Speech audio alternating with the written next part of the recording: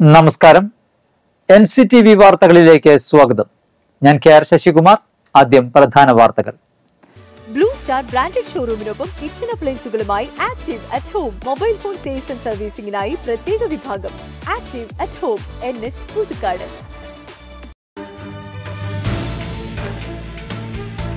Paliyekkara toll പ്ലാസയിൽ പുതുക്കിയ നിരക്കുകൾ September ഒന്നിന് നിലവിൽ വരും. വാഹന നിര എത്ര നീണ്ടാലും ഇനി ടോൾ കൊടുത്തു പോയാൽ മതിയെന്ന് നാഷണൽ ഹൈവേ അതോറിറ്റി. വാഹന നിര നൂറ് മീറ്റർ കടന്നാൽ ടോൾ ഈടാക്കാതെ കടത്തിവിടണമെന്ന നിബന്ധന നീക്കി എൻ എച്ച് എ ഐ. പാലിയക്കരയിൽ ഇങ്ങനെ ഒരു നിയമം ഉണ്ടായിരുന്നുവെന്ന് ദേശീയപാത അതോറിറ്റി സ്ഥിരീകരിക്കുന്നത് നിയമം റദ്ദാക്കിയ ശേഷം. റഷ്യയിൽ കൊല്ലപ്പെട്ട സന്ദീപ് ചന്ദ്രന്റെ മൃതദേഹം നാട്ടിലെത്തിക്കുന്നതിന് നോർക്ക നടപടി തുടങ്ങി. റഷ്യൻ സൈന്യത്തിനൊപ്പമുള്ള മറ്റ് മൂന്ന് മലയാളികളെ തിരികെ കൊണ്ടുവരാനും ശ്രമം.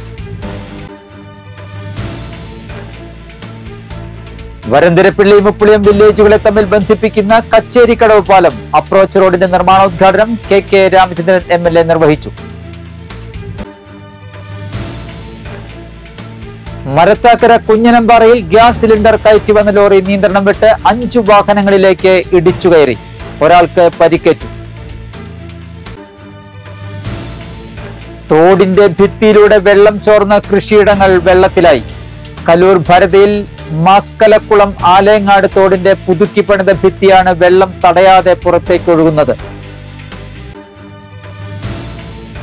Kolkata R G Kar medical college ആശുപത്രിയിലെ ജൂനിയർ ഡോക്ടറുടെ ബലാത്സംഗ കൊലപാതകത്തിൽ ഇരയ്ക്ക് നീതിയും സുരക്ഷയ്ക്കായി രാജ്യത്ത് നിയമവും നടപ്പാക്കണം എന്നാവശ്യപ്പെട്ട് പെൻഷനേഴ്സ് യൂണിയൻ ഐക്യദാർഢ്യ പ്രകടനം നടത്തി.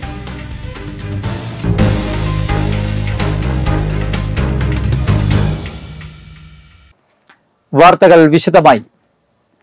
ദേശീയപാത അഞ്ഞൂറ്റി നാൽപ്പത്തിനാലിൽ തൃശൂർ അങ്കമാലി ഇടപ്പള്ളി റോഡിലെ പാലിയേക്കര ടോൾ പ്ലാസയിൽ പുതുക്കിയ നിരക്കുകൾ സെപ്റ്റംബർ ഒന്നിന് നിലവിൽ വരും. ഇത്തവണ ടോൾ നിരക്കുകളിൽ കാര്യമായ മാറ്റമില്ല. ഒരു ഭാഗത്തേക്കുള്ള എല്ലാത്തരം വാഹനയാത്രകൾക്കും നിലവിലെ നിരക്കു തന്നെ തുടരും. അതേസമയം മാസ നിരക്കുകൾക്ക് എല്ലാ ഇനം വാഹനങ്ങൾക്കും പത്ത് മുതൽ നാൽപ്പത് രൂപ വരെയുള്ള വർധനയുണ്ട്. നിരക്കുകൾ ഇങ്ങനെ കാർ ജീപ്പ് വിഭാഗങ്ങൾക്ക് ഒരു ഭാഗത്തേക്ക് തൊണ്ണൂറ് രൂപ. ഇരുപത്തിനാല് മണിക്കൂറിനുള്ളിലെ ഒന്നിൽ കൂടുതൽ ട്രിപ്പുകൾക്ക് നൂറ്റി നാൽപ്പത് രൂപ.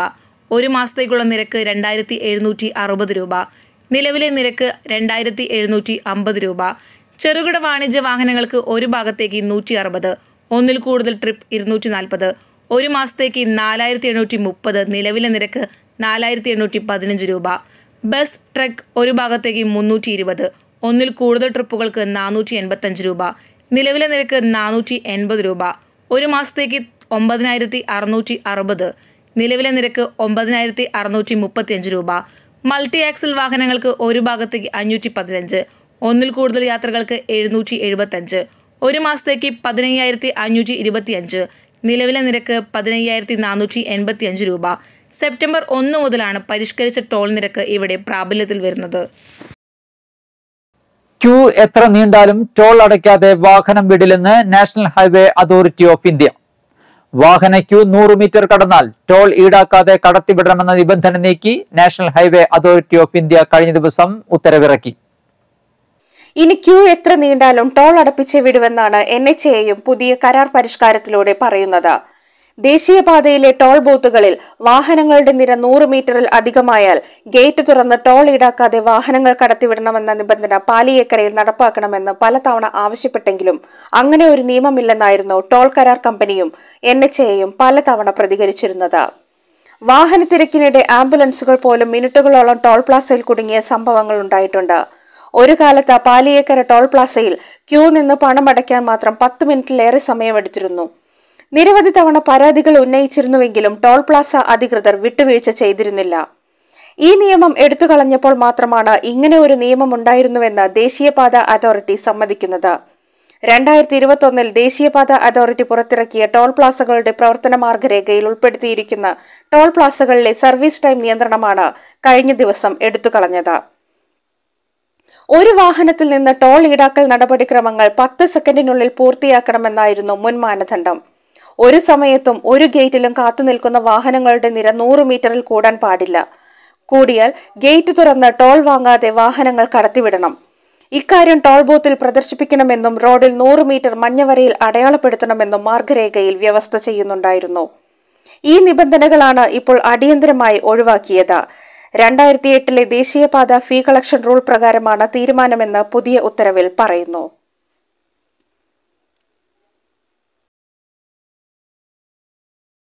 റഷ്യയിൽ കൊല്ലപ്പെട്ട കല്ലൂർ നായരങ്ങാടി സ്വദേശി കാങ്കിൽ സന്ദീപ് ചന്ദ്രന്റെ മൃതദേഹം നാട്ടിലെത്തിക്കുന്നതിന് നോർക്ക നടപടി തുടങ്ങി. റഷ്യ യുക്രൈൻ യുദ്ധത്തിനിടെ റഷ്യൻ സേനയുടെ ഭാഗമായിരുന്ന സന്ദീപ് ഡോണസ്കിൽ വെച്ച് ഉക്രൈനിന്റെ ഡ്രോൺ ആക്രമണത്തിൽ കൊല്ലപ്പെട്ടതായി റഷ്യൻ മലയാളികളുടെ വാട്സപ്പ് ശബ്ദ സന്ദേശം പ്രചരിച്ചത് കഴിഞ്ഞ വെള്ളിയാഴ്ചയാണ്. ഏറെ അഭ്യൂഹങ്ങൾക്കൊടുവിൽ ചൊവ്വാഴ്ച വൈകിട്ടാണ് സന്ദീപിന്റെ മരണം ഇന്ത്യൻ എംബസി ഔദ്യോഗികമായി സ്ഥിരീകരിച്ചത്. സന്ദീപ് ചന്ദ്രന്റെ മൃതദേഹം നാട്ടിലെത്തിക്കുന്നതിന് ഇന്ത്യൻ എംബസിയുടെ സഹായം തേടിയതായി നോർക്ക സിഇഒ അജിത് കോളശ്ശേരി അറിയിച്ചു. നിലവിൽ റഷ്യയിലെ റെസ്റ്റോഫിലാണ് സന്ദീപിന്റെ മൃതദേഹമുള്ളതായി ഇന്ത്യൻ എംബസി അറിയിച്ചിട്ടുള്ളത്. അതേസമയം റഷ്യൻ സർക്കാരോ റഷ്യൻ സൈന്യമോ സന്ദീപിന്റെ മരണം സംബന്ധിച്ച ഔദ്യോഗിക വിവരം ഇന്ത്യൻ എംബസിക്ക് കൈമാറിയിട്ടില്ലെന്നാണ് ലഭ്യമാകുന്ന വിവരം. റഷ്യൻ സൈന്യത്തിനൊപ്പം പ്രവർത്തിച്ചു വരുന്ന കൊടകര കനകമല കാട്ടുകലക്കൽ വീട്ടിൽ നാൽപ്പത് വയസ്സുള്ള സന്തോഷ് കൊല്ലം മേയന്നൂർ കണ്ണങ്കര പുത്തൻ വീട്ടിൽ ഇരുപത്തിയേഴ് വയസ്സുള്ള സിബി എറണാകുളം കുറുമ്പാശ്ശേരി നാൽപ്പത്തിമൂന്ന് വയസ്സുള്ള റെനിൻ പുന്നയ്ക്കൽ എന്നിവരെ തിരികെ കേരളത്തിൽ എത്തിക്കുന്നതിനും റഷ്യയിലെ ഇന്ത്യൻ എംബസിയുടെ സഹായം തേടിയതായും അജിത് കോളശ്ശേരി പറഞ്ഞു. ഇവരെ തിരികെ എത്തിക്കാൻ ഇടപെടണമെന്നാവശ്യപ്പെട്ട മൂന്ന് പേരുടെയും കുടുംബങ്ങൾ സംസ്ഥാന സർക്കാരിന് അപേക്ഷ നൽകിയിരുന്നു. സന്ദീപ് ചന്ദ്രന്റെ മൃതദേഹം നാട്ടിലെത്തിക്കാൻ സാധ്യമായതെല്ലാം ചെയ്യുമെന്ന് ജില്ലാ കളക്ടർ അർജുൻ പാണ്ഡെ സന്ദീപിന്റെ കുടുംബത്തെ അറിയിച്ചു.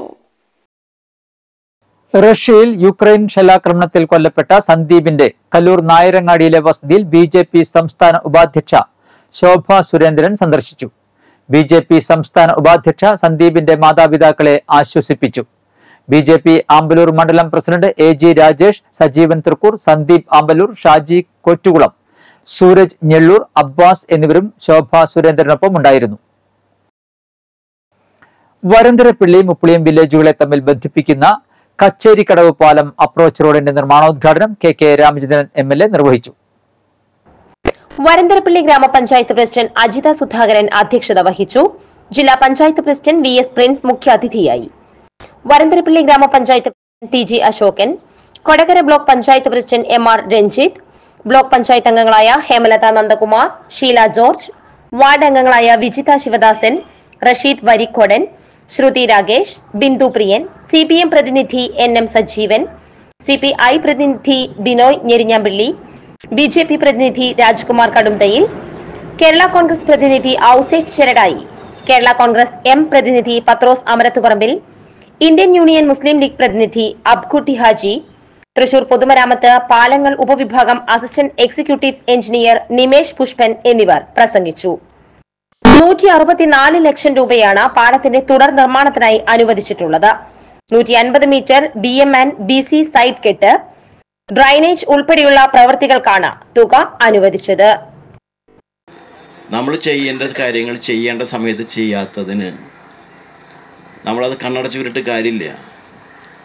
ഇത് എത്രമാത്രം ഇപ്പം നമുക്കറിയാലോ ഇത് എഗ്രിമെന്റ് കഴിഞ്ഞിട്ട് ഏഴ് ദിവസമായിട്ടുള്ളോ ഏഴ് ദിവസമായിട്ടില്ല അത്രയും ഫാസ്റ്റിൽ വേഗതയിൽ നമ്മൾ നടത്തണത്. തുടങ്ങി വെച്ചവരാണ് തുടങ്ങുമല്ലോ August August September October November December പുതുവർഷം ആരംഭിക്കുമ്പോൾ ഇത് പുതിയ റോഡായിട്ട് നമുക്ക് ഉപയോഗിക്കണം. ഇത് ജനങ്ങളുടെ മുമ്പിൽ വെച്ച് കോൺട്രാക്ട് ആകാൻ പറയുകയാണ് പൊതുവെ നല്ല രീതിയിൽ വർക്ക് നടത്തുന്ന ഒരാളാണ്. ഞാൻ കാര- കരാറുകാരായിട്ട് പല പല നിലയിലും കലയിക്കുന്ന ഒരാളാണ് അങ്ങനെ വന്ന ശേഷം അങ്ങനെ വന്നിട്ടുണ്ട്. അപ്പോൾ അത് വളരെ വേഗത്തിൽ ചെയ്യുന്ന ഒരാളാണ്. നമ്മുടെ ബഹുമാനപ്പെട്ട എം എൽ എ എല്ലാ റവന്യൂ ഉദ്യോഗസ്ഥർ നമ്മുടെ ജനപ്രതിനിധികൾ ജില്ലാ പഞ്ചായത്ത് പ്രസിഡന്റ് എല്ലാവരെയും രാഷ്ട്രീയ പ്രതിനിധികളെ ഉൾപ്പെടുത്തിക്കൊണ്ട് നമ്മുടെ ഈ പരിസരത്ത് തന്നെ ഒരു യോഗം കൂടുകയാണ്ട് അതിനുശേഷം റവന്യൂ വകുപ്പ് ഭൂമി ഏറ്റെടുത്ത് കഴിഞ്ഞ് പാലം വിഭാഗത്തിന് കൈമാറി ആ ഭൂമി ഏറ്റെടുത്തവർക്കൊക്കെ നഷ്ടപരിഹാരം കിട്ടിയിട്ടുണ്ട്. എന്തായാലും ഇതെല്ലാം കടമ്പ കടന്ന് ഇപ്പോൾ ഇതിന്റെ ഒരു പ്രത്യേകത നിങ്ങൾ നോക്കൂ. പതിനെട്ടാം തീയതി പതിനേഴാം തീയതിയാണ് വിജീഷ് ഈ പതിനേഴിനാണ് അഗ്രിമെന്റ് വെച്ചത്. ഇന്ന് ഇരുപത്തി ഒന്നാം തീയതി നമ്മൾ നിർമ്മാണ ഉദ്ഘാടനം ആരംഭിക്കുകയാണ്. നാലേ നാല് ദിവസം. വിജീഷ് നാല് മാസം എന്ന് പറഞ്ഞോട്ടെ റോഡിന്റെ പണിയായതുകൊണ്ട് എനിക്കറിയാം. വിജീഷ് അത് മൂന്ന് മാസം കൊണ്ട് എന്തായാലും പൂർത്തീകരിക്കും. നേരത്തോടെ സൂചിപ്പിച്ചതുപോലെ ഒരുപാട് കാലത്ത് നമ്മുടെയൊക്കെ ആഗ്രഹത്തിന് സാക്ഷാത്കാരത്തിലേക്ക് എത്തുകയാണ്. ശാപമോഷം ലഭിച്ചു എന്നുള്ളതാണ് യഥാർത്ഥത്തിൽ പറയാൻ വേണ്ടി കഴിയുക. ഏതാണ്ട് അഞ്ച് വർഷം മുമ്പാണ് നമ്മുടെ ഈ പാലം പണി പൂർത്തീകരിച്ചിട്ടുള്ളത്. എല്ലാ കാര്യങ്ങളും നമ്മുടെ എം എൽ എ ഇത് ശരിയാക്കിയിട്ടുണ്ട്. നമുക്കറിയാം ഈ കുറുമാലിപ്പുഴയിൽ ഏകദേശം നമ്മുടെ മണ്ഡലത്തിൽ ഉൾപ്പെടുന്ന തൊട്ട് താഴെ തന്നെ രണ്ട് പാലവും അതുപോലെ ഷട്ടറുകളും ഉൾപ്പെടെ റെഗുലേറ്റർ എന്നുള്ള രീതിയിൽ ഒരു ആറ്റപ്പിള്ളി അതിന്റെ തൊട്ട് താഴെ കുറുമാലി കുറുമാലി അല്ല കുണ്ടിക്കടവ് കാരണം ഇതെല്ലാം പൂർത്തിയാകുന്നതോടുകൂടി നമ്മുടെ ജലസേചനം അതുപോലെ തന്നെ ഗതാഗത സൗകര്യം എല്ലാം ഇന്നുള്ളതിന്റെ വലിയ തോതിൽ മെച്ചപ്പെടുന്ന പദ്ധതികളാണ്. നമ്മൾ പാലം വിഭാഗം പുതുക്കാട് തൃശ്ശൂർ ജില്ലയിൽ പുതുക്കാട് നിയോജക മണ്ഡലത്തിലാണ് ഏറ്റവും അധികം വർക്കുകൾ ചെയ്തുകൊണ്ടിരിക്കുന്നത്. നമ്മൾ കഴിഞ്ഞ സീസണിൽ പാഴായി ഭാഗത്ത് ഒരു പാലം തകർന്ന് പോയ ഒരു പാലം വണ്ടിയുടെ നിയന്ത്രണം ഉണ്ടായിരുന്നു അവിടെ. അത് ബഹുമാനപ്പെട്ട എം എൽ എയുടെ ഇടപെടൽ മൂലം നമുക്ക് അതിന്റെ ഭരണാനുമതി വളരെ വേഗത്തിൽ ലഭ്യമാവുകയും. മരത്തകര കുഞ്ഞനമ്പാറയിൽ ഗ്യാസ് സിലിണ്ടർ കയറ്റി വന്ന ലോറി നിയന്ത്രണം വിട്ട് അഞ്ചു വാഹനങ്ങളിലേക്ക് ഇടിച്ചു കയറി. ഒരാൾക്ക് പരിക്കേറ്റു. ബുധനാഴ്ച ഉച്ചതിരിഞ്ഞാണ് അപകടമുണ്ടായത്. എറണാകുളം ഭാഗത്തേക്ക് ഗ്യാസ് സിലിണ്ടറുമായി പോവുകയായിരുന്ന ലോറിയാണ് നിയന്ത്രണം വിട്ട് വാഹനങ്ങളിൽ ഇടിച്ചത്. നിറയെ സിലിണ്ടറുകൾ ഉണ്ടായെങ്കിലും കാലിക്കുറ്റികളായതിനാൽ വൻ അപകടമാണ് ഒഴിവായത്. റോഡരികിൽ നിർത്തിയിട്ടിരുന്ന അഞ്ചിലധികം പെട്ടി ഓട്ടോറിക്ഷകൾ തകർന്നു. അപകടത്തിൽ ഒരാൾക്ക് പരുക്കേറ്റു. ഇയാളെ തൃശൂർ എലൈറ്റ് ആശുപത്രിയിൽ പ്രവേശിപ്പിച്ചു. പീച്ചി ഡാം തുറന്നുവിട്ടതിനെ തുടർന്നുണ്ടായ പ്രളയത്തിൽ ദുരിതബാധിതരുടെ എല്ലാ നഷ്ടങ്ങൾക്കും സർക്കാർ ഉത്തരവാദിയാണെന്നും ഔദ്യോഗിക പഠനമില്ലാതെ പ്രളയം മനുഷ്യനിർമ്മിതമല്ല എന്ന് റവന്യൂ മന്ത്രി തന്നെ പറഞ്ഞത് കുറ്റക്കാരെ സംരക്ഷിക്കുന്നതിനാണെന്നും D vice president Joseph Tajet ആരോപിച്ചു. സർക്കാർ നിർമ്മിത പ്രളയത്തിന് ഉത്തരവാദികളായവർക്കെതിരെ നടപടി സ്വീകരിക്കുക. പ്രളയബാധിതരുടെ എല്ലാ നഷ്ടങ്ങൾക്കും പരിഹാരം നൽകുക. മണലിപ്പുഴ നവീകരിക്കുക. എന്നീ ആവശ്യങ്ങൾ ഉന്നയിച്ച് ആമ്പലൂർ വില്ലേജ് ഓഫീസിന് മുൻപിൽ കോൺഗ്രസ് അളഗപ്പ നഗർ മണ്ഡലം കമ്മിറ്റി നടത്തിയ പ്രതിഷേധ ധർണ ഉദ്ഘാടനം ചെയ്ത് സംസാരിക്കുകയായിരുന്നു അദ്ദേഹം.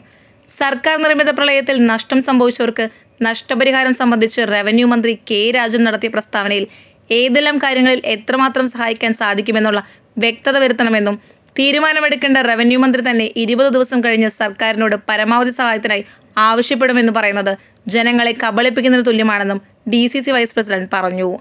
വീടുകളുടെ കേടുപാടിനും കൃഷിനാശത്തിനും മാത്രം പരിഹാരം നൽകാനുള്ള നീക്കം ശരിയല്ലെന്നും മറിച്ച് പ്രളയത്തിൽ ഒരു കുടുംബത്തിന് സംഭവിച്ച വീട് കൃഷി വീട്ടുപകരണങ്ങൾ വാഹനങ്ങൾ വളർത്തുമൃഗങ്ങൾ ജീവനോപാധികൾ തുടങ്ങി എല്ലാ നഷ്ടവും വ്യാപാരി സമൂഹത്തിന്റെ നഷ്ടവും പരിഹരിക്കാൻ സർക്കാർ മുന്നോട്ട് വരണമെന്നും അദ്ദേഹം കൂട്ടിച്ചേർത്തു.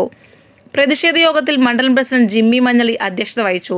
കെ. ഗോപാലകൃഷ്ണൻ സെബി കൊടിയൻ അലക്സ് ചുക്കിരി പ്രിൻസൺ തയാലക്കൽ ജയൻ കൂവക്കാടൻ സിജോ പുന്നക്കര എന്നിവർ പ്രസംഗിച്ചു. K. Rajeswari Manoj Kumar Haran Baby Dinil Palaparambil Princy Davis Austin Thekkumpuram T. T. Benny എന്നിവർ സന്നിഹിതരായി. ലക്ഷങ്ങളുടെ നഷ്ടമാണ് ഈ പഞ്ചായത്തിലുണ്ടായത് പിന്നെ റവന്യൂ മന്ത്രി പറയുന്നു വീടുകളുടെ കേടുപാടുകൾ. അത് വില്ലേജ് ഓഫീസ് വഴി പോർട്ടലിൽ അപ്ലോഡ് ചെയ്യാൻ പറയുന്നു. ശരി സമ്മതിച്ചു.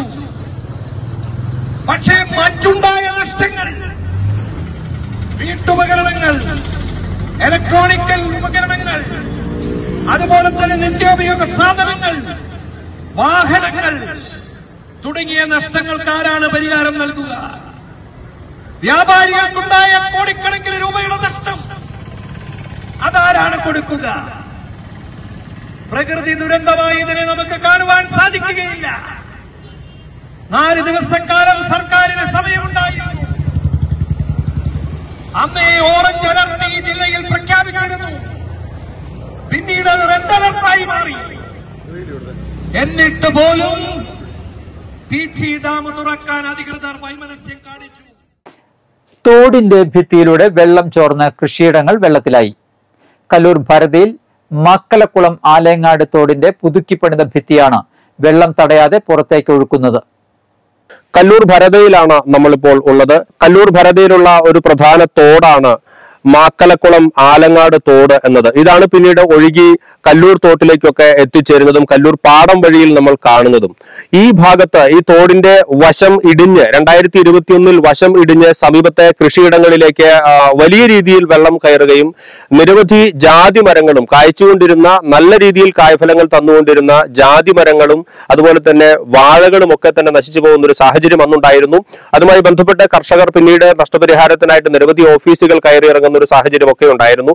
പിന്നീട് തുടർന്ന വർഷങ്ങളിൽ രണ്ടായിരത്തി ഇരുപത്തിയൊന്നിൽ ഈ ഒരു തോടിന്റെ ഒരു വശം കരിങ്കല്ല് ഭിത്തി കെട്ടി സംരക്ഷിക്കുകയും അതിനുശേഷം തുടർന്നുള്ള വർഷങ്ങളിൽ ഘട്ടം ഘട്ടമായി വശത്ത് വശം സംരക്ഷിക്കുകയും അതുപോലെ തന്നെ ഒരു വശത്ത് മണ്ണടിച്ച് കൂടുതൽ ഉയർത്തുകയും ബലപ്പെടുത്തുകയും കോൺക്രീറ്റിംഗ് ജോലികൾ ചെയ്യുകയും ഒക്കെ തന്നെ ചെയ്തിരുന്നു. കഴിഞ്ഞ വർഷമാണ് രണ്ടായിരത്തി ഇരുപത്തി മൂന്നിലാണ് നമ്മളിപ്പോൾ നിൽക്കുന്ന ഭാഗത്തെ കോൺക്രീറ്റിംഗ് ജോലികൾ പൂർത്തിയായത്. പക്ഷേ ഇത്തവണ മഴ ശക്തമായ സമയത്ത് ഈ ഭിത്തിയുടെ വശങ്ങളിലൂടെ ഒക്കെ അതിശക്തമായ രീതിയിൽ വെള്ളം ലീക്കാവുകയും വെള്ളം പുറത്തേക്ക് തള്ളുകയും സമീപത്തെ കൃഷിയിടങ്ങളിലേക്ക് വെള്ളം കടന്നു വരികയും സമീപത്തെ കൃഷിയിടങ്ങളെല്ലാം തന്നെ വെള്ളത്തിൽ മുങ്ങുന്ന ഒരു സാഹചര്യമാണ് ഉണ്ടായത്. ഇതിനെ തുടർന്ന് കർഷകനായിട്ടുള്ള കെ പി കൊച്ചപ്പൻചേട്ടൻ ഈ ഒരു വിഷയത്തിൽ സർക്കാരിനെ സമീപിക്കുകയും വിവിധ ഏജൻസികളെ സമീപിച്ച് അന്വേഷണം ആവശ്യപ്പെടുകയും അതിന്റെ അടിസ്ഥാനത്തിൽ വിജിലൻസ് അന്വേഷണം ആരംഭിക്കുകയുമാണ് ഇപ്പോൾ ഈ ഒരു സാഹചര്യത്തിൽ ഉണ്ടായിരിക്കുന്നത്. എന്നാൽ എന്താണ് തുടർന്ന് ചെയ്യാൻ സാധിക്കുക എന്നുള്ളതിനെ കുറിച്ച് ഇപ്പോഴും ഒരു വ്യക്തതയായിട്ടില്ല. നിലവിൽ വെള്ളം ചാടുന്ന ഒരവസ്ഥയാണുള്ളത്. നമുക്ക് കൂടുതൽ വിശദാംശങ്ങൾ ചോദിച്ചറിയാം. ഈ ഒരു മഴക്കാലത്താണ് ഇത് കൂടുതൽ വെള്ളം മഴ ശക്തമായിട്ട് പെയ്ത് തോടി നിറയുമ്പോൾ വെള്ളം സർവതില്ല എല്ലാ സ്ഥലത്തും ലീക്ക് എടുക്കുക പുതിയ കെട്ട് ഉൾപ്പെടെ ഉള്ള സ്ഥലങ്ങളിൽ നിന്ന് ഒരു വളരെ ശക്തമായി ലീക്ക് എടുത്ത് വെള്ളം ഒഴുകി ഒരു അവസ്ഥയാണ്. ഏത് സമയത്തും ഇതേമാതിരി മഴ പെയ്താൽ ഈ കെട്ടിയ ഭാഗം തന്നെ ഇനി വീണ്ടും പൊട്ടാൻ സാധ്യതയുണ്ട്. കെട്ടുന്നവർ കല്ല് മാത്രം കെട്ടി നിർത്തിയിട്ടുണ്ട് ഓരോ ഓരോ. അത് പൊട്ടാൻ ഇനി വീണ്ടും സാധ്യതയുണ്ട്. അത് വിജിലൻസ് കണ്ടു നേരിട്ട് വരി കാണുകയും അവർക്ക് ബോധ്യപ്പെടുകയും ചെയ്തിട്ടുള്ളതാണ്. അവർ പറഞ്ഞിട്ട് ഇങ്ങനെ നിന്ന് കഴിഞ്ഞാൽ അത് വീണ്ടും പോവും. പണി ബാക്കിയുള്ള പണികൾ അവിടെ ചെയ്യണം ചെയ്തില്ലെങ്കിൽ പോകുന്ന അവർ തന്നെ കണ്ടു പറഞ്ഞു പോയിട്ടുള്ളതാണ്. ഏകദേശം എത്ര ലക്ഷം രൂപ പല ഘട്ടങ്ങളിലായിട്ട് ഇവിടെ ചെലവാക്കി? ഒരു ആറ് ലക്ഷം രൂപ പഞ്ചായത്തിന്റെ ഫണ്ടാണെന്ന് പറഞ്ഞു അവരാദ്യം ചെല്ലു.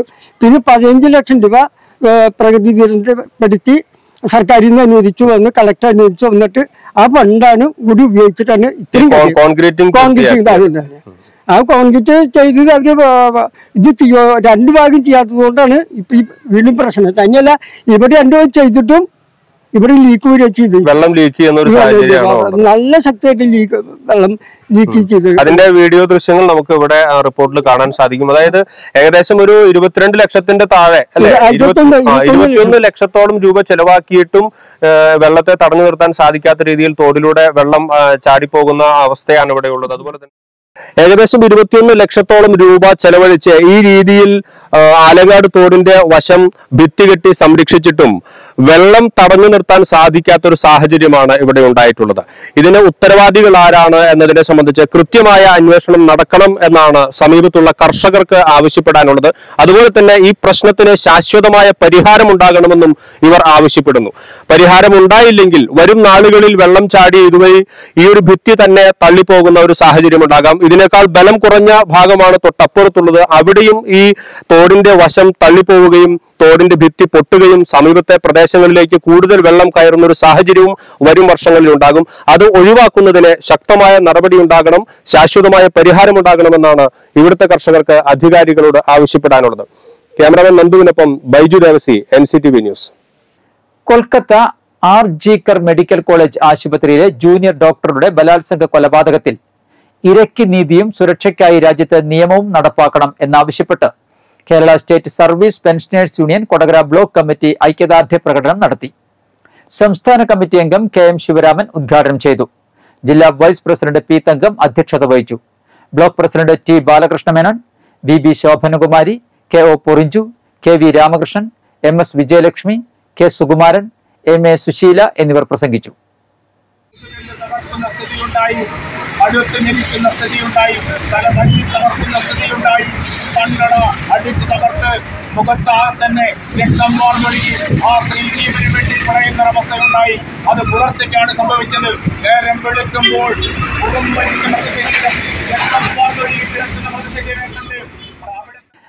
പഞ്ചാരിമേളം കൊട്ടിക്കയറി Puthukkad government vocational higher secondary സ്കൂളിലെ വിദ്യാർത്ഥികൾ. ശ്രവ്യ സുന്ദരമായി വിദ്യാർത്ഥികളുടെ അരങ്ങേറ്റം. Puthukkad government vocational higher secondary സ്കൂളിൽ പഞ്ചാരി മേളത്തിൽ പരിശീലനം നേടിയ വിദ്യാർത്ഥികളുടെ അരങ്ങേറ്റം സംഘടിപ്പിച്ചു. കൊടകര ഉണ്ണിയുടെ ശിക്ഷണത്തിൽ അഭ്യസിച്ച പതിനൊന്ന് വിദ്യാർത്ഥികളാണ് അരങ്ങേറ്റം കുറിച്ചത്.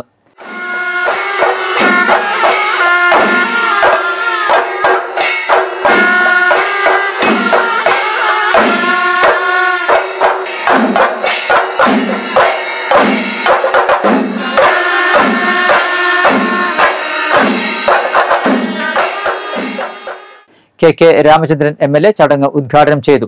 ജില്ലാ പഞ്ചായത്ത് അംഗം സരിത രാജേഷ് അധ്യക്ഷത വഹിച്ചു. പത്മശ്രീ പെരുവനം കുട്ടന്മാരാർ വിശിഷ്ട അതിഥിയായി പങ്കെടുത്തു. പുതുക്കാട് ഗ്രാമപഞ്ചായത്ത് പ്രസിഡന്റ് കെ എം ബാബുരാജ് മുഖ്യ അതിഥിയായി. ബ്ലോക്ക് അംഗം സതീഷ് സുധീർ ഗ്രാമപഞ്ചായത്ത് അംഗം ഷാജു കാളിയങ്കര പ്രധാന അധ്യാപിക എം പി ബിന്ദു മേള അധ്യാപകൻ Kodakara Unni principal K A Sangeetha P T A president C P Joseph M P T A president Sini Viswanathan അധ്യാപിക K S Pushkala J C Thrissur green city president Jindo Joseph K Vani C R Joji മുൻ പ്രധാന അധ്യാപിക ഉഷ ആന്റണി എന്നിവർ സന്നിഹിതരായി.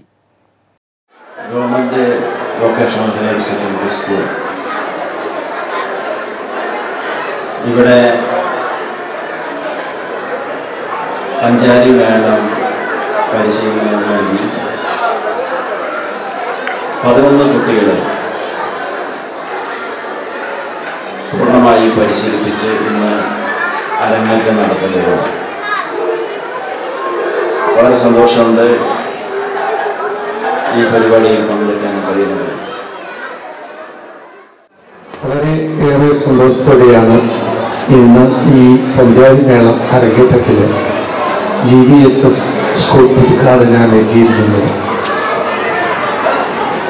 ഇന്ന് സ്വാഗത പ്രാസംഗിക ആയ Mrs പറയുകയുണ്ടായി ഇന്ന് പുതുക്കാടിന്റെ ഭൂതമാണ് പതിനൊന്ന് കലാകാരന്മാരെ പെരുവനം ശ്രീ പത്മശ്രീ പെരുവനം കുട്ടന്മാരാരുടെ എന്താ പറയുക മുമ്പിൽ നിന്ന് ഇങ്ങനൊരു ആ, കല അവിടെ അഭ്യസിക്കുമ്പോൾ ഏറ്റവും അഭിമാന മുഹൂർത്തത്തോടു കൂടി നമ്മളെല്ലാവരും പുളകിതരായി അത് കാണാൻ നിൽക്കുകയാണ്.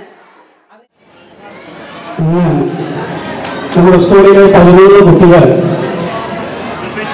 വാദ്യകലാരംഗത്ത് പ്രാവീണ്യം നേടി പഠിച്ച് ഇന്ന് അവരുടെ അരങ്ങേറ്റം നടത്താനായിട്ടാണ് തുടക്കം കുറിക്കുന്നത് നമുക്കറിയാം നമ്മുടെ സ്കൂളിലെ കോളേജുകളിലൊക്കെ പഠനങ്ങൾ Nandikkara government vocational higher secondary സ്കൂളിലെ ഓപ്പൺ സ്റ്റേജും കിച്ചൺ സ്റ്റോറും ജില്ലാ പഞ്ചായത്ത് വൈസ് പ്രസിഡന്റ് ലതാചന്ദ്രൻ ഉദ്ഘാടനം ചെയ്തു. പറപ്പൂക്കര ഗ്രാമപഞ്ചായത്ത് വൈസ് പ്രസിഡന്റ് ബീന സുരേന്ദ്രൻ അധ്യക്ഷത വഹിച്ചു. ഇരിഞ്ഞാലക്കുട ബ്ലോക്ക് പഞ്ചായത്ത് അംഗം കാർത്തിക ജയൻ പറപ്പൂക്കര പഞ്ചായത്ത് വിദ്യാഭ്യാസ കാര്യ സ്ഥിരം സമിതി അധ്യക്ഷൻ എൻ എം പുഷ്പാകരൻ വാർഡ് അംഗങ്ങളായ Nandini Satheesan Radha Vishambharan principal R S Asharani B H S C principal Manju K Mathew high school പ്രധാനാധ്യാപിക Sameena Thomas P T A president M K Asokan M P T A president Shiny Srinivasan P T A vice president Ajeesh Binu O S A secretary Sunil Kaithavalappil അധ്യാപകരായ K Sreelatha T R Geethu N K Kishore എന്നിവർ പ്രസംഗിച്ചു. കുട്ടികളുടെ കലാപരിപാടികളും ഉണ്ടായി. Kerala state ration retail dealers association Mukundapuram taluk സമ്മേളനം പാലേക്കരയിൽ സംഘടിപ്പിച്ചു.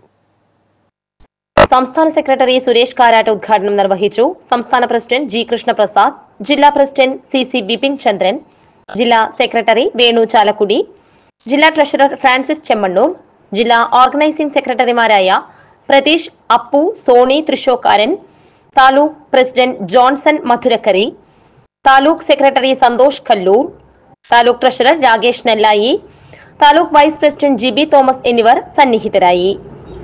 തുടർന്ന് നടന്ന തെരഞ്ഞെടുപ്പിൽ ജിബി തോമസിനെ പ്രസിഡന്റായും സന്തോഷ് കല്ലൂരിനെ സെക്രട്ടറിയായും രാകേഷ് നെല്ലായിയെ ട്രഷററായും തെരഞ്ഞെടുത്തു. എത്രയോ പ്രാവശ്യം ജി സ്റ്റീവൻ എന്ന് പറയുന്ന സി നേതാവായ ഇന്ന് നമ്മുടെ കമ്മിറ്റിയുടെ ചെയർമാനായ യഥാർത്ഥത്തിൽ അദ്ദേഹം ഇത്ര രണ്ടാമത്തെ പ്രാവശ്യം ഇത് വിളിക്കുമ്പോഴും ഇവിടെ ഈ പ്രശ്നത്തിൽ അദ്ദേഹം അന്തപ്പെട്ടിരിക്കുകയാണ്. ഈ റേഷൻ വ്യാപാരികൾ ഒരു തരത്തിൽ നന്നാവില്ല. കാരണം ഒരുത്തരം പിടിക്കുമ്പോൾ വേറെ താൻ കൊടുക്കും വേറെ പിടിക്കുമ്പോൾ വേറെ ചെയ്യുന്നു എന്ത് പാടുപെട്ട് വളരെ നമ്മളെ ശ്രമിച്ചതിന്റെ ജില്ലാ കളക്ടർ അർജുൻ പാണ്ഡിനുമായി ഒരു കൂട്ടം വിദ്യാർത്ഥികൾ നടത്തിയ സംവാദം ശ്രദ്ധേയമായി. മഴ ഉണ്ടാകുമ്പോൾ അവധി പ്രഖ്യാപിക്കാനുള്ള മാനദണ്ഡങ്ങൾ എന്തൊക്കെ? ജില്ലാ കളക്ടർ അർജുൻ പാണ്ഡ്യന്റെ ചേംബറിൽ വിദ്യാർത്ഥികളുമായി നടത്തിയ മുഖാമുഖത്തിൽ ആദ്യം ഉയർന്ന ചോദ്യമാണിത്. സുരക്ഷയ്ക്ക് പ്രാധാന്യം നൽകി മഴയുടെ തോതും തീവ്രതയും മുന്നറിയിപ്പ് നിയമവുമെല്ലാം പരിഗണിച്ചാണ് അത്തരം തീരുമാനങ്ങൾ എടുക്കുന്നതെന്ന് മറുപടി നൽകിയപ്പോൾ വിഷയം കൂടുതൽ ഗൗരവത്തോടെ മനസ്സിലാക്കാനായതായി വിദ്യാർത്ഥി സംഘം പറഞ്ഞു.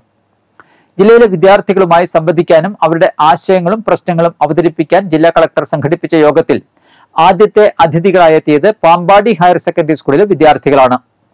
എന്തുകൊണ്ട് സിവിൽ സർവീസ് എന്ന ചോദ്യത്തിന് സമൂഹത്തിലെ എല്ലാ മേഖലകളിലും ഇടപെടലുകൾ നടത്താൻ ഐ എ എസ് പദവിയിൽ സാധിക്കുമെന്നും എന്നാൽ ഓരോരുത്തരും തങ്ങളുടെ അഭിരുചികൾക്കും താല്പര്യങ്ങൾക്കും അനുസരിച്ചുമുള്ള മേഖലകൾ തെരഞ്ഞെടുക്കാൻ ശ്രദ്ധിക്കണമെന്നും അദ്ദേഹം ഓർമ്മിപ്പിച്ചു. I A S I P S തെരഞ്ഞെടുപ്പ് ജില്ലാ കളക്ടർ എന്ന നിലയിൽ നേരിടുന്ന വെല്ലുവിളികൾ പ്രശ്നങ്ങൾ തൃശൂരിനെ കുറിച്ചുള്ള പ്രതീക്ഷകൾ തുടങ്ങിയ വിവിധ വിഷയങ്ങൾ സംബന്ധിച്ച് വിദ്യാർത്ഥികൾ ചോദിച്ചറിഞ്ഞു. സ്കൂളിലെ അടിസ്ഥാന സൗകര്യങ്ങൾ വർദ്ധിപ്പിക്കണമെന്ന് വിദ്യാർത്ഥികൾ ആവശ്യപ്പെട്ടു. കൂടാതെ സ്വകാര്യ ബസ്സുകൾ നിർത്താതെ പോകുന്ന ബുദ്ധിമുട്ടും കളക്ടറുടെ ശ്രദ്ധയിൽപ്പെടുത്തിയപ്പോൾ വിഷയത്തിൽ ഇടപെടുമെന്ന് അദ്ദേഹം ഉറപ്പു നൽകി. പ്രതിവാരം ഓരോ സ്കൂളിലെയും കോളേജുകളിലെയും തെരഞ്ഞെടുക്കപ്പെട്ട വിദ്യാർത്ഥികളെ ഉൾപ്പെടുത്തി ആശയവിനിമയം നടത്തുന്നതിന്റെ ഭാഗമായാണ് പരിപാടി സംഘടിപ്പിച്ചത്. പുരുഷ സൗന്ദര്യം നിലനിർത്താൻ face and hair look gents beauty parlour മുപ്ലിയത്ത് വ്യാഴാഴ്ച പ്രവർത്തനം ആരംഭിക്കും. പുതുക്കാട് മുപ്ലിയം റോഡിൽ ഗവൺമെന്റ് സ്കൂളിന് സമീപം രാവിലെ ഒൻപത് മുപ്പതിനാണ് പ്രവർത്തനം ആരംഭിക്കുക. കാലാവസ്ഥ. കൂടിയ താപനില ഇരുപത്തിയെട്ട് ഡിഗ്രി സെൽഷ്യസ്. കുറഞ്ഞ താപനില ഇരുപത്തിനാല് ഡിഗ്രി സെൽഷ്യസ് രേഖപ്പെടുത്തി.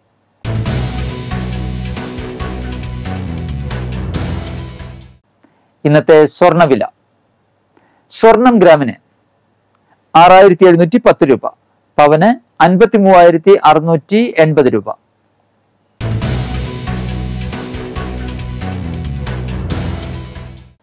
പുതുക്കാട് അമ്മുത്തൻ റപ്പായി അന്തരിച്ചു. എഴുപത്തിനാല് വയസ്സായിരുന്നു. സംസ്കാരം നടത്തി. ജീനറ്റ് ജിനോയ് എന്നിവർ മക്കളും Joshy മരുമകനുമാണ്. Varantharappilly saint John Bosco L P school retired പ്രധാനാധ്യാപിക Velupadam Alappatt Sebastian ഭാര്യ എൽ സി അന്തരിച്ചു. എൺപത്തിയഞ്ച് വയസ്സായിരുന്നു സംസ്കാരം നടത്തി. ഐ സി റൈസി ഐജോ എന്നിവർ മക്കളും ജോയ് മാത്യു പോളി ഫ്രാൻസിസ് ലൈസി ഐജോ എന്നിവർ മരുമക്കളുമാണ്. പറപ്പൂക്കര നെടുമ്പാൾ പറയൻകുളമ്പ് ചാമുണ്ണി അന്തരിച്ചു. എഴുപത്തി ഒൻപത് വയസ്സായിരുന്നു.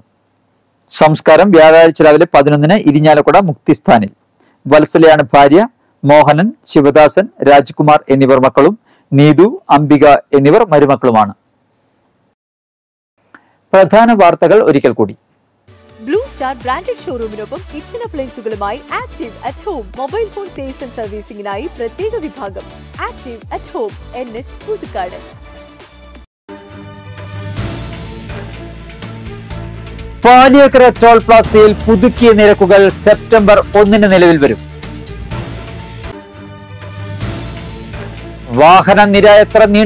ഇനി ടോൾ കൊടുത്തു പോയാൽ മതിയെന്ന് നാഷണൽ ഹൈവേ അതോറിറ്റി വാഹന നിര നൂറ് മീറ്റർ കടന്നാൽ ടോൾ ഈടാക്കാതെ കടത്തിവിടണമെന്ന നിബന്ധന നീക്കി എൻ എച്ച് എ ഐ പാലിയക്കരയിൽ ഇങ്ങനെ ഒരു നിയമം ഉണ്ടായിരുന്നുവെന്ന് ദേശീയപാത അതോറിറ്റി സ്ഥിരീകരിക്കുന്നത് നിയമം റദ്ദാക്കിയ ശേഷം.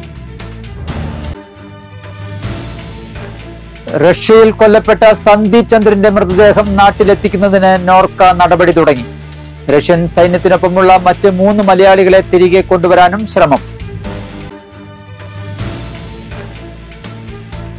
വരന്തരപ്പിള്ളി മുപ്പിളിയം വില്ലേജുകളെ തമ്മിൽ ബന്ധിപ്പിക്കുന്ന കച്ചേരി കച്ചേരിക്കടവ് പാലം അപ്രോച്ച് റോഡിന്റെ നിർമ്മാണോദ്ഘാടനം K K Ramachandran M L A നിർവഹിച്ചു. മരത്താക്കര കുഞ്ഞനമ്പാറയിൽ ഗ്യാസ് സിലിണ്ടർ കയറ്റി വന്ന ലോറി നിയന്ത്രണം വിട്ട് അഞ്ചു വാഹനങ്ങളിലേക്ക് ഇടിച്ചു കയറി. ഒരാൾക്ക് പരിക്കേറ്റു. തോടിന്റെ ഭിത്തിയിലൂടെ വെള്ളം ചോർന്ന കൃഷിയിടങ്ങൾ വെള്ളത്തിലായി. കലൂർ ഭരതിയിൽ മാക്കലക്കുളം ആലയങ്ങാട് തോടിന്റെ പുതുക്കി പണിത ഭിത്തിയാണ് വെള്ളം തടയാതെ പുറത്തേക്ക് ഒഴുകുന്നത് Kolkata R G Kar medical college ആശുപത്രിയിലെ ജൂനിയർ ഡോക്ടറുടെ ബലാത്സംഗ കൊലപാതകത്തിൽ ഇരയ്ക്ക് നീതിയും സുരക്ഷയ്ക്കായി രാജ്യത്ത് നിയമവും നടപ്പാക്കണം എന്നാവശ്യപ്പെട്ട് പെൻഷനേഴ്സ് യൂണിയൻ ഐക്യദാർഢ്യ പ്രകടനം നടത്തി.